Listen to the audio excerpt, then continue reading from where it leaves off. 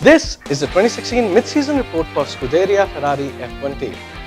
Ferrari is one of the three teams other than Mercedes and Renault to manufacture both the car and the engine on the grid.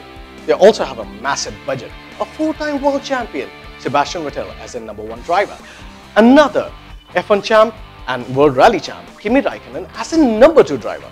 And that is why they started the season as the favorites to challenge Mercedes for their championship.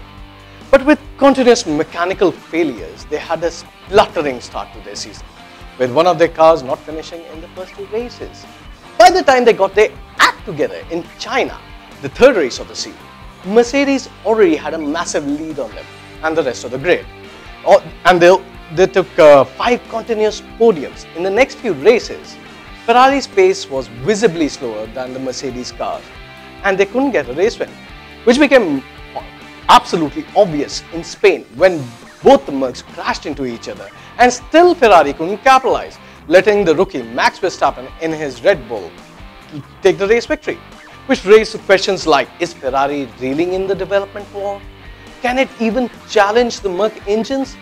And after German, G, uh, German Grand Prix, Ferrari has even lost the second place to Red Bull in points. However, Ferrari team principal Maurizio Arrivabene is not giving up on the season. He recently fired one of the most famous engineers and Ferrari's technical director, James Allison, who had reportedly become intolerable after his wife's death in March, and called Matteo Binotto to replace him.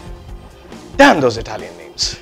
But the move has left everybody jittery, especially the drivers, who seem to be questioning the team's every move, strategy and order mid-race, even on the radio.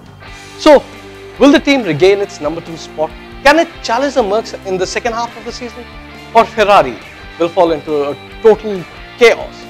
I'm Ishaan We'll find out that for you here on VEQTA.